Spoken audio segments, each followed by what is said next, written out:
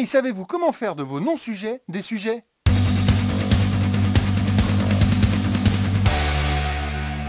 Alors, bienvenue dans les post-it de Polychroma. Alors, le sujet de ce nouveau post-it, c'est les non-sujets et comment transformer un non-sujet en sujet? C'est un chouette sujet, non? Ouais, ça m'a l'air un peu polémique quand même. Hein. Alors oui, euh, non, mais j'en parlais dans un précédent post-it en fait, sur le post-it sur le sujet, rien que le sujet. Et j'en parlais en disant que tout ce qui n'est pas votre sujet est un non-sujet. Donc, à partir de là, toi, qu'est-ce que tu peux faire avec un non-sujet? Bah, Je supprime. Oui, alors c'est une solution, effectivement, mais on peut aussi chercher à l'intégrer à son image et à l'intégrer dans sa composition. Et à partir de ce moment-là, votre non-sujet devient un sujet.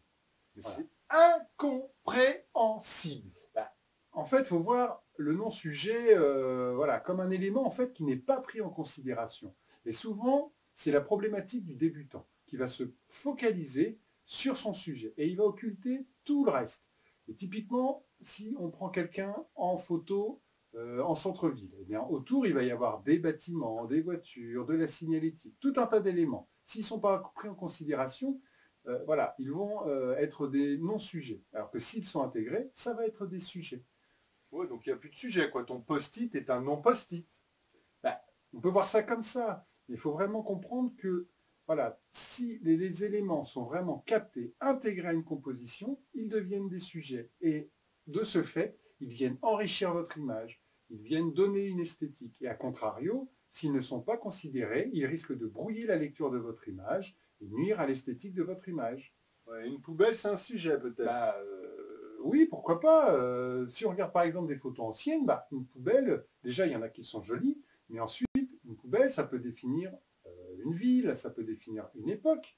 Donc, euh, je trouve ça dommage de bannir systématiquement une poubelle parce que c'est une poubelle. Et puis, bah, si on l'intègre, autant l'intégrer avec conscience et dans sa composition.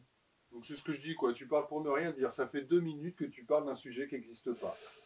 Bah, écoute, tu peux avoir cette impression-là, mais euh, c'est un peu l'objet de ces post-it, c'est de vous faire prendre conscience des choses et de l'importance d'analyser une scène, de voir ce qu'il y a, de voir comment je peux l'intégrer, quel point de vue il faut choisir, etc.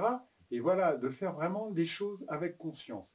Après, c'est vrai, euh, il y a des non-sujets bah, qu'on ne veut pas ou qu'on ne peut pas intégrer à son image, auquel cas, bah, on peut chercher euh, à les supprimer.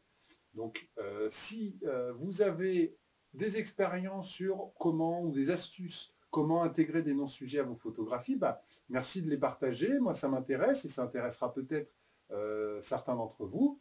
Et puis, bah, euh, on verra dans le prochain post-it comment supprimer les noms de sujets.